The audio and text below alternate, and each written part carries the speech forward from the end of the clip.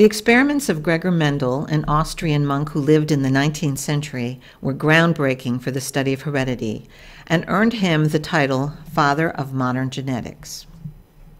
Remember, heredity is the transmission of traits from parent to offspring, from generation to generation. Be sure to take a look at this light-hearted video about Mendel by visiting the link at the bottom of this slide. We will refer to some of the lyrics from that video during this screencast. Mendel crossed peas with a variety of traits, such as seed and pod form and color, flower color, and stem placement and size.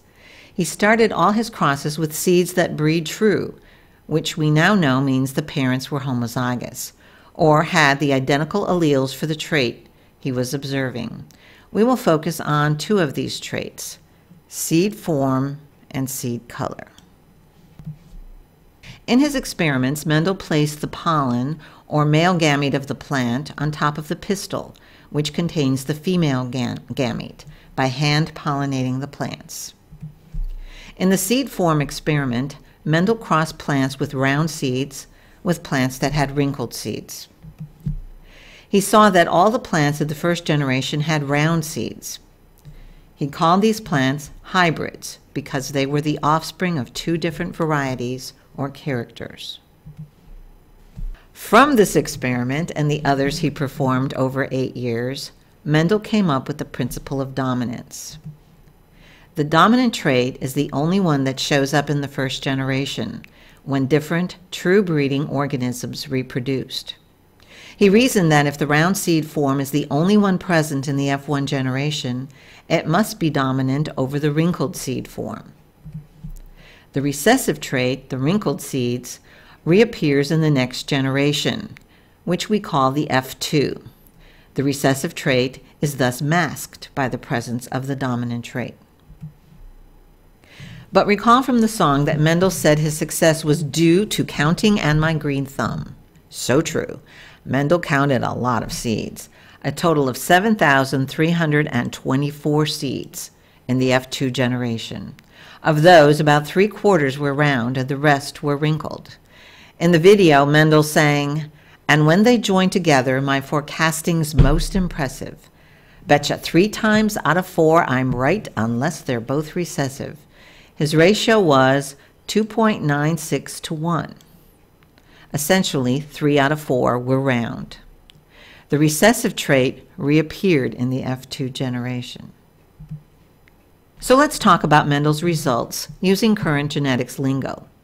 Mendel did not know about chromosomes and the genes they contained, so he used a different vocabulary. We know from our cell division class that sexually reproducing organisms have chromosomes in pairs, one from the male parent and one from the female parent. These are the homologous chromosomes and have the same version or allele of each gene when an organism is homozygous for that trait. If an organism has unlike alleles, it is heterozygous for the trait. Mendel stated his first law as equal segregation from examining all of his data. He reasoned that parents pass on only half of their genetic material, or factors as he called them, to their offspring through the gametes. Thus, the pair of alleles segregate during meiosis, and haploid gametes are produced. Remember Mendel saying, Here's the news. They come in twos. They segregate. It's up to fate if an egg or a sperm has a trait that will dominate. This part of the song refers to equal segregation. Mendel crossed smooth yellow seeds with wrinkled green seeds in another experiment. Now he was observing two traits at the same time in the offspring seed form and seed color. In the first generation, he observed that all the seeds were smooth and yellow. You now know, of course, that this means that not only is smooth dominant to wrinkled, but yellow is dominant to green. But in the second generation, he observed four seed varieties round yellow, round green, wrinkled yellow, and wrinkled green, two of which were new. Most of the seeds were round yellow, and the least were wrinkled green. He observed about the same amount of round green and wrinkled yellow seeds. The ratio, he concluded, was 9 to 3 to 3 to 1. Mendel reasoned that the character for seed color and seed form were independent of each other. So he came up with his second law, the law of independent assortment. Alleles for one gene separate into gametes independently of alleles for other genes. That is why he observed the two new varieties, round green and wrinkled yellow. Today, Mendel is known not only for the principle of dominance, but also for his two laws segregation and independent assortment. Recall that laws are predictive.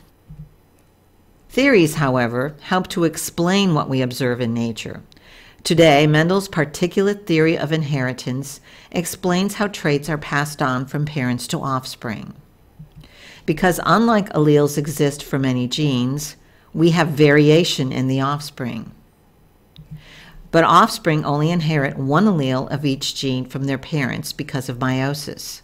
A parent has a diploid set of chromosomes, but passes on a haploid set in their gamete.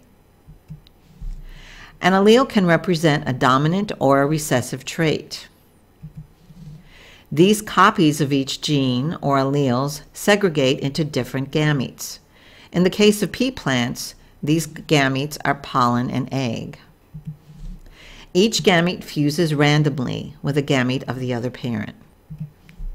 Mendel's work is the foundation of modern genetics. Sadly, he was not recognized for his work during his lifetime. As we heard in the song, back then no one hurrahed Gregor Mendel but his God.